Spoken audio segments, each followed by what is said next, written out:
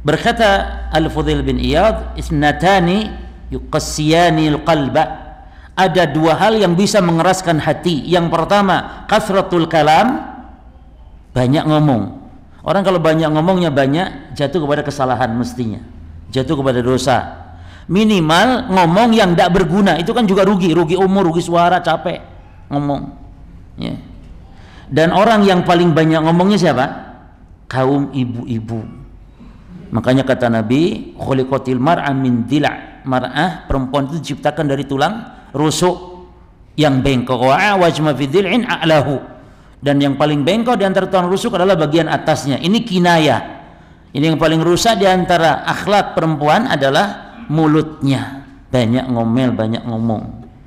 Jadi katanya konon kononnya ibu-ibu itu atau perempuan itu sehari itu bisa 20 ribu kata ngomongnya Laki-laki mek 6 ribu toh. Bayangkan 6 ribu banding berapa? 20 ribu. Dan perempuan memang ah, ini para suami tolong perhatikan. Perempuan tuh nggak punya modal. Modalnya memang cuma ngomong. Perempuan tidak punya hak talak. Maka kalau kita tengkar, wajar bertengkar suami istri itu terjadi. Hatta pertengkaran Ali dengan Fatimah terjadi, hatta pertengkaran Rasul dengan para istri biasa gitu tuh. Hanya bagaimana mensikapinya. Jadi kita para suami kalau istri kita ngomel-ngomel, kita cukup diam. Setelah itu ambil apa? Keluar. Kalau Ali kan ke masjid tidur di masjid. Nah kita pun gitu makanya para takmir jangan dikunci masjid itu supaya ada suami yang tengkar sama istrinya bisa lumayan tidur daripada ke hotel mahal-mahal. Setelah kita tinggalkan kita datang lagi tuh istri sudah hilang lagi atau malah tambah marah, sih marah. Yang jelas kasihan istri tidak bisa apa-apa, modalnya cuma ngomel cuma. Tidak bisa, istri tidak bisa mukul. Nggak ada. Yang mukul justru suami biasanya berbuat zalim. Istri tidak bisa mukul, tidak bisa menceraikan. Istri mau ngomong, pas, mas sampai tak cerai ayo, tak talak sepuluh pun tetap tidak jatuh. Guyu aja, nek nek bojo, nek istri apa mentalak suami, suami guyu aja, tenang aja, tidak jatuh tapi suami jangan coba-coba bercanda saja bisa jatuh.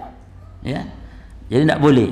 Nah, maka kalau istri ngomel ya sudah kita wis kalau kita tidak tahan kuping panas ya keluar saja. Nanti seberapa jam kembali sudah berubah istri itu. Kita ketuk assalamualaikum senyum, halas istri itu senyum, disenyumin. Memang maunya mereka tuh cukup disenyumin saja, ikhwan. Jadi jangan dibalas gitu loh. Kalau, kalau dibalas nanti kayak api disiram apa? Bensin istilahnya akan semakin parah ya.